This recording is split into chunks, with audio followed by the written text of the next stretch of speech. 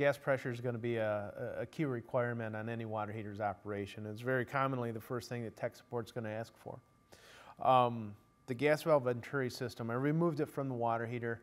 I want to point out uh, how are we going to measure gas pressure, the tools that we're going to use. Your gas inlet, uh, so the factory connection uh, that extends outside the water heater cabinet here.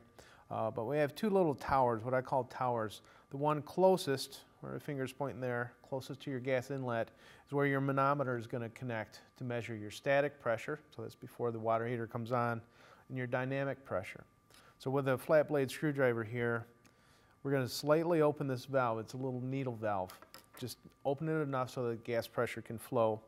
Manometer tubing is going to then go right over top of that tower, and you're going to get a static pressure reading. When you turn on your gas valve, you're going to see the manometer pressure increase. Ideally, it should increase. And we're looking for a range between four and a half inches of inlet pressure up to 14 inches of pressure. When the water heater is then turned on, we have running pressure. When the fire is in operation, we call it dynamic pressure. You want to see very little pressure drop when we go from static to dynamic. So pressure drop in a negative regulated system can create some, some ignition problems for you.